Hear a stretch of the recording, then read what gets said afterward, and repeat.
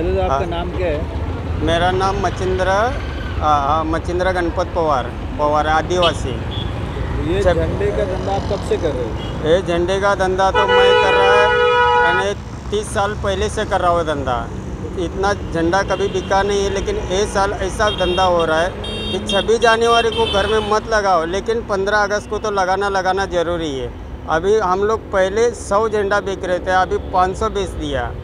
पिछले साल हाँ, आप- पिछले साल- पिछले साल ये झंडे कितने के आते थे? आपको कितने के पड़ते थे? ये झंडा गिरता था हमको बीस रुपया एक अभी पचास रुपया गिर रहा है एक।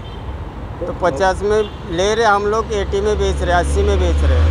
तो जिसने भी कुछ भी किया अच्छा ही किया बुरा कुछ नहीं किया। देश के लिए कौन भी कर रहा है अच्छा ही कर रहा है। हर घर में बांटने हाँ। के बाद भी आप लोगों का धंधे में कोई असर नहीं पड़ा उल्टा धंधा हाँ। अच्छा हर घर में बांटने से किया लेकिन अच्छा धंधा तो हम लोग का अच्छा ही हो रहा है ऐसा नहीं कि नहीं हो रहा है। इधर हम लोग सौ बेच रहा था उधर दो सौ बेच पा रहा है। पिछले साल कितने का ये बीस रुपए का हाँ पहले साल पिछले साल बीस का एक बेच उधर से लेके आ रहे थे अभी पचास में एक हमको मिल रहा है। बीस का लेके आते थे कितने का बेचते थे? पचास में बेचते थे बीस में एक लेके आते थे पचास में बेचते थे हम लोग। पचास का अस्सी में बेचते हाँ अभी पचास का अस्सी में बेच रहे हैं।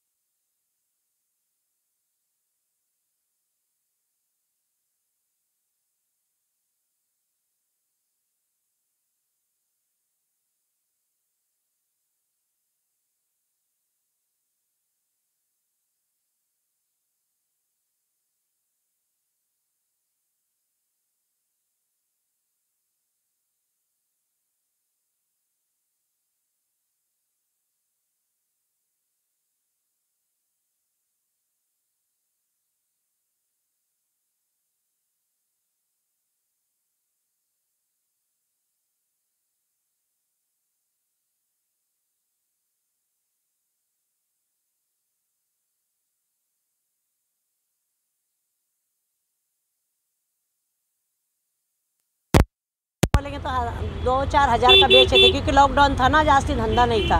इसके लिए इसके लिए बोले जान दो जो बिक रहा है वो बिक रहा ये साल उम्मीद लगाए थे कि हमारा जास्ती माल निकलेगा लेकिन फेरी के बांटने की वजह से वो भी नहीं वो भी आज टूट गया हमारी।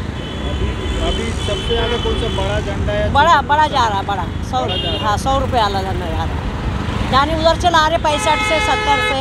यहाँ सौ रुपये गाड़ी भाड़ा खर्चा कर बीस रुपये में लड़ाई मतलब हर घर में जो झंडा बांटे उससे आप लोगों को नुकसान हुआ है फ़ायदा हुआ? है फ़ायदा है उसमें क्या नुकसान? देश की अमानत है वो। दस बीस रुपये मिला बस हो गया। नहीं नहीं हाँ। आप लोगों को उससे फ़ायदा हुआ कि नुकसान हुआ? नुकसान हुआ ना अभी फेरी में बांट रहे तो। कम बिक रहे कम बिक रहे ना फेरी में बांट रहे तो। नहीं तो गरीब लोग का यही आसरा रहता है बरसात के दिन है।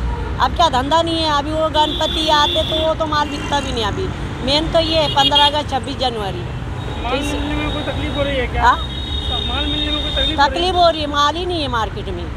बिल्कुल अभी मैं जा रही है मेरी दो तीन निकल जाएँगे तो अभी मैं मस्जिद बंदर जा रही हूँ जलाने के लिए। सुबह से मैंने तीन सौ रुपये का धंधा करी।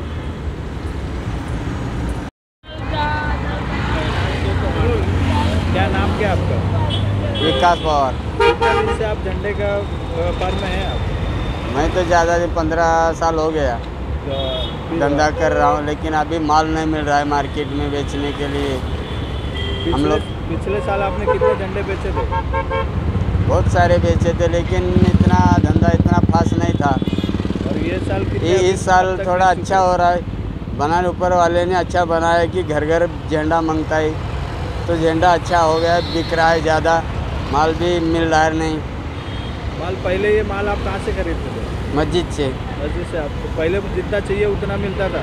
हाँ हाँ। और अब जितना चाहिए उतना नहीं मिल नहीं मिल रहा है। तो अभी आपकी कितनी झंडे की मांग कितनी आप रोज अभी कि, कि, कितने दिन से धंधा लगा रहे हैं आप? अभी तो चार दिन से लगा रहे हैं। चार दिन में आप रोज कितना झंडा बेच रहे हो? मिलता है हज़ार दो हज़ार रुपया बस। झंडे कितने बेच रहे हो आप? चार मतलब सौ दो सौ तीन सौ झंडे सौ दो सौ पचास हाँ पचास सौ। पिछले साल आप कितने बेचते थे दस पंद्रह बेचते थे लेकिन इस साल पचास सौ भी बिक जाता है। मतलब इस साल सरकार ने जो किया वो लगता है आपको बहुत अच्छा किया अच्छा किया हमारे हिसाब तो अच्छा किया। सर पंद्रह सोलह साल से हम लोग धंधा करते हैं। हर साल यहाँ पे हाँ हर साल रहता है। पिछले साल आप ये झंडे कितने झंडे बेच बेचे थे आपने? हम लोग पचास चालीस बेच दिया था। और ये इस साल साल में दो अढ़ाई सौ बेच दिया। मतलब ये साल जो मोदी जी ने मुहिम रवाई है कि हर घर घर झंडा हाँ। उसमें आपका कहीं ना कहीं फ़ायदा हुआ है? हाँ हुआ है। फ़ायदा हुआ है? हाँ। झंडा मिलने में कोई तकलीफ़ हो रही है क्या आपको दुकान से? दुकान से बहुत महँगा डबल टिबल भाव बढ़ा दिया दुकान में। अभी पब्लिक तो पहले पचास में लेती थी मगर सौ रुपया दे रही है। मगर अभी दुकान में ही उतना भाव बोलेगा तो इधर ज़्यादा बोलेगा तो पब्लिक बोल रही इतना क्यों बढ़ा दिया? तो अभी आप जब माल लेने जाते हो तो सौ का समझो झंडे का मांग कर रहे हो तो सौ के सौ मिल रहे हैं आपको वहाँ नहीं तीस चालीस रुपया बीस रुपया मिल जाता। है नहीं झंडे अगर आप सौ लेने जा रहे हो तो कितने झंडे वहाँ पे मिलते हैं आपको? सौ के सौ मिल रहे हैं कि नहीं कम मिल रहा है। क्या बोलता है झंडे वाले? क्या? माल ही नहीं आ रहा है।